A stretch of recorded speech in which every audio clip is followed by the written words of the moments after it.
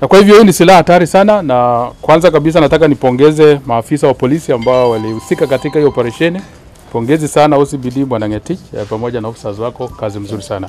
Ya pili ni kupongeza wananchi, wananchi ambao walipasha habari polisi na kutoa wito kwamba wananchi waendelee kusaidiana na polisi ili tuweze kupambana na wale wakora ambao wametatua tatiza amani katika eh, mji eh, wa Garissa.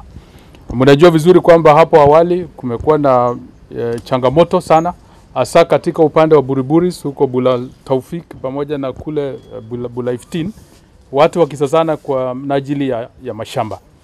Kwa hivyo e, ile mipango ambayo serikali imeweka e, ni kuhakikisha kwamba hakuna maendeleo yoyote ama development yoyote ambayo itafanywa katika hiyo sehemu hiyo.